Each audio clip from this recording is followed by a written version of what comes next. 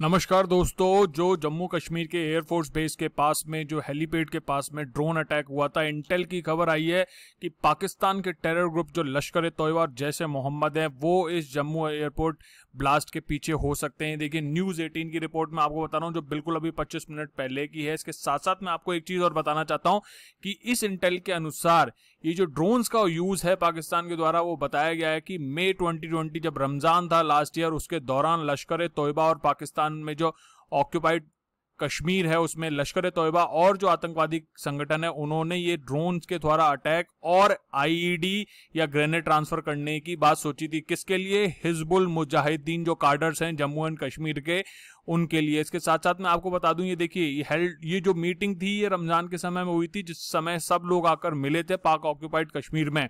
और ये डिसाइड किया गया था कि लश्कर ए तोयबा द्वारा ये ड्रोन तैयार किया जाएगा और हिजमुल मुजाहिदीन जो कश्मीर कार्डर है उसको ट्रांसफ़र किया जाएगा। अब इंटरेस्टिंग बात ये पता चली कि जो ड्रोन था वो लगभग पाँच किलो आईईडी कैरी कर सकता था और distance of three kilometre from the controller तक जा सकता था। तो आप ये समझिए, जहाँ पे ब्लास्ट हुआ है, उससे तीन किलोमीटर पहले तक ये एक डिस्टेंस कवर कर सकता है कि कंट्रोलर को तीन किलोमीटर डिस्टेंस जो है एक्स्ट्रा मिल गया कि वो ब्लास्ट कर सकता है। और इसके साथ साथ ये है कि कंट्रोलर इसको इतने बेहतर तरीके से कंट्रोल कर सकता था कि वो इसे ब्रिंग डाउन और ब्लास्ट कर सकता था। ये इंटेल का इनपुट अभी इसी वक्त आया है। इसके साथ मैं आपको बताना चाहूँगा कि आज सुबह जम्मू कश्मीर के जो एयरफोर्स बेस है, उस पर एक अटैक हुआ था। सिद्धांत सर ने इस पर वीडियो भी बनाया था और इंडिया टुडे के अनुसार ये पहला ड्रोन अटैक था, लेकिन नहीं, ऐसा नहीं है। मैं आपको डिटेल में बताऊँगा कि ऐसा क्यों नहीं है, क्योंकि इससे पहले भी ड्रोन अटैक्स हो चुके हैं। यहाँ भी एक न्यूज़ है कि सस्पिशन है कि ड्रोन फॉर यूज़ और काफ़ी हद तक की श्योरिटी भी हो गई है कि ड्रोन ही यूज़ किए गए थे इस अटैक में। ये वो एयरफोर्स स्टेशन है जम्मू का जिसके समीप ये अटैक हुआ है और ये इंफॉर्मेशन है जो एयरफोर्स ने अपने हैंडल पे दी थी कि टू इम्प्रोवाइज एक्सप्लोसिव डिवाइसेस जिन्हें की आईडी भी कहा जाता है, उनको अटैक किया गया था। डिफेंस एस्टेब्लिशमेंट में जो देश में है, उस पर ये एक पहला अटैक माना जा सकता है और ये बहुत ही एक बड़ी चुनौती है, जो हमें भारत को बहुत ही टिपिकल तरीके से देखनी होगी, क्योंकि आज ही मैंने एक वीडियो बनाया इंटीग्रेटेड या यूनिफाइड मिलिट्री कमांड्स का, और इसके साथ साथ जो शंघाई कॉरपोरेशन मीट हुआ, उसमें हमारे नेशनल सिक्योरिटी एडवाइजर थे अजीत डोभाल जी, उन्होंने भी इस ड्रोन्स और जो हाई टेक्नोलॉजी है, मैंने इस पर भी वीडियो बनाया था, उसके लिए उन्होंने कहा था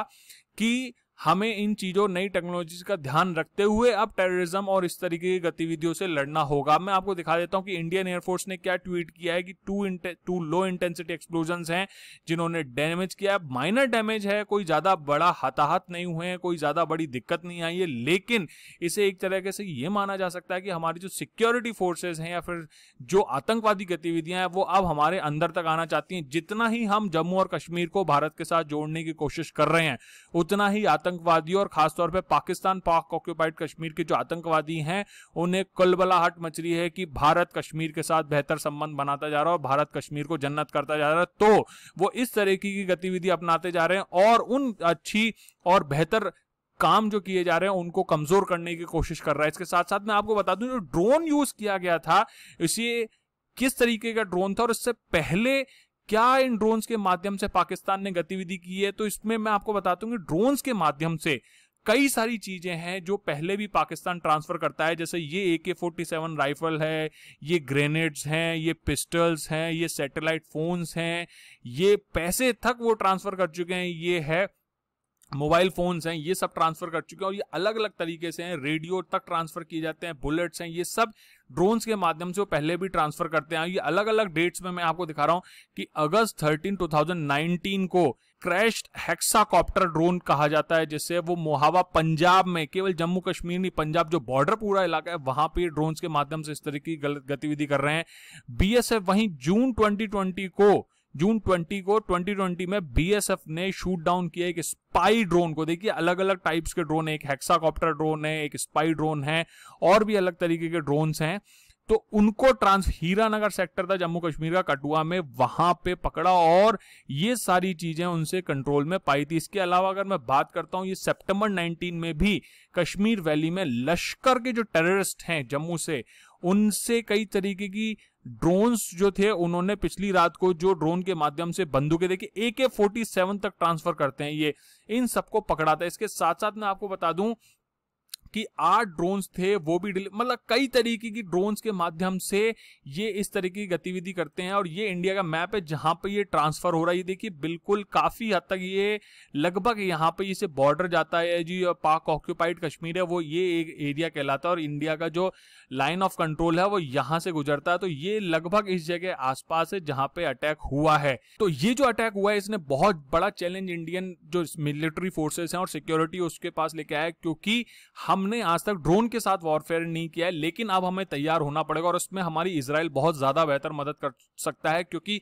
उस वो रोज़मर्रा के रूप में इन ड्रोन्स के हमलों को रोकता है और आयरन डोम का एक कॉन्सेप्ट है, या फिर अगर हम डीआरडीओ की मदद से इस तरीके के ड्रोन्स को कंट्रोल करने के कोई इक्विपमेंट या फिर जो डिफेंस सिस्टम है वो क्रिएट कर सके, वो करना पड़ेगा। पीएडी पृथ्वी एयर डिफेंस और एएडी आकाश एयर डिफेंस से ये काम नहीं हो सकता एस फोर हंड्रेड टाइम से। इस तरीके की जो एयर डिफेंस सिस्टम है, वो इन छोटे ड्रोन्स के लिए कंप्लीटली सक्सेसफुल नहीं है। इनके लिए हमें छोटे छोटे जो डिफेंस सिस्टम है, जैसे कि इसराइल ने आयरन डोम जैसा कॉन्सेप्ट बना रखा है, वैसे हमें या तो खरीद लेना चाहिए या अपनी ज़रूरत के हिसाब से हमें इसरो डीआरडीओ और जो डिफेंस रिसर्च जैसी अलग क्षेत्र हैं, उनके थ्रू इसको डेवलप करने की कोशिश करनी चाहिए या फिर प्रोक्योर करने लेना चाहिए, क्योंकि अब वॉरफेयर जो होगा वो इसी तरीके का हाई टेक्नोलॉजी की चीज़ों के माध्यम से होगा और हमें इसको बहुत तेज़ी से सुरक्षित रखना होगा और इंटीग्रेटेड या यूनिफाइड जो मिलिट्री कमांड्स हैं, उसको जल्द से जल्द इसको हमें लेके आना पड़ेगा जिससे कि इस तरीके के हमलों से इंडियन आर्मी और इंडियन जो